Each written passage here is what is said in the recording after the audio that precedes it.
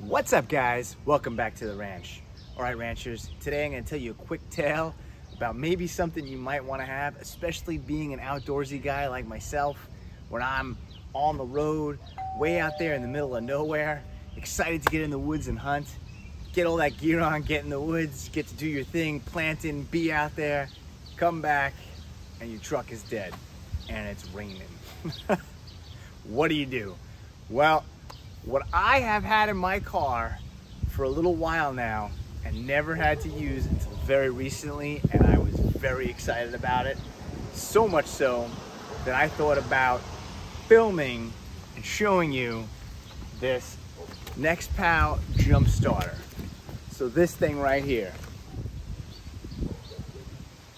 I've had this in my truck for like a year and I got it and I thought, ah, it was a white elephant gift.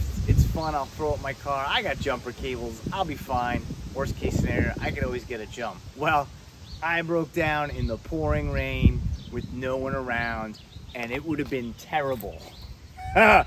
so, broke this out, was able to get it on my truck here, jump myself, and get going. So I figured I'd do a little short product review of this product and show it to you because maybe with you being an outdoorsy person who's watching my videos, you might decide to throw something like this in your truck as well.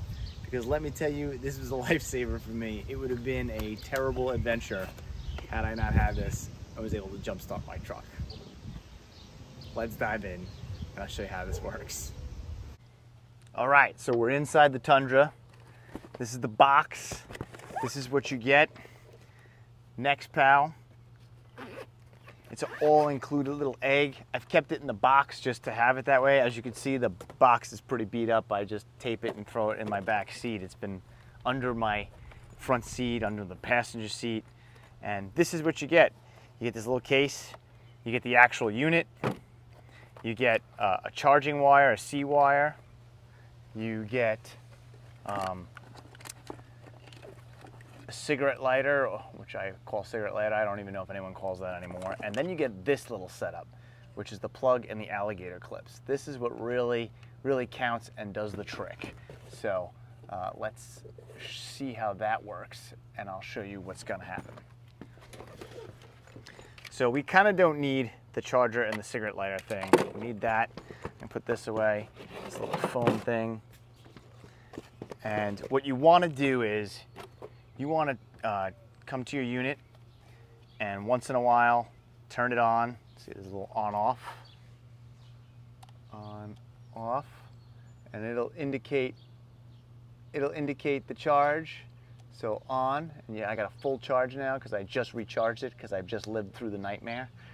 And then it has um, plugging outlets, so you could do DC out, USB out, USB-C in, that's how we charge it, USB two out, and then the one that looks like the car with the roof up. That's the one that's important.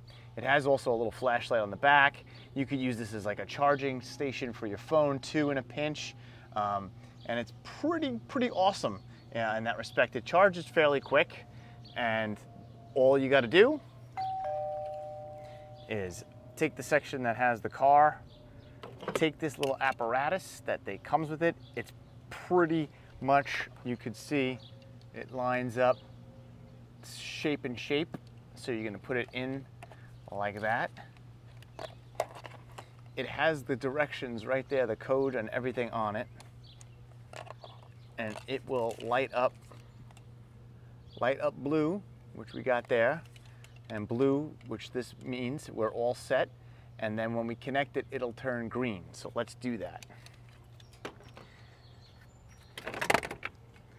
Connect your positive to positive. Connect your negative to negative. And can you see that in the video? It has lit up green now. So we're actually jumping this battery. And you could go in and start your car. I'm not gonna do that in this video because I'm good. I just replaced this battery the other night. But that's all there is to this. And you'd be able to get out of trouble. So I'll include the links to this in the description of the video, as well as the safety lights I have in my car. Maybe that's something you're thinking about getting for your car for the, your outdoor adventures. I mean, it's about the size of like two iPhones and it was a lifesaver for me. So maybe it could be a lifesaver for you too. Definitely worth having in your truck or car.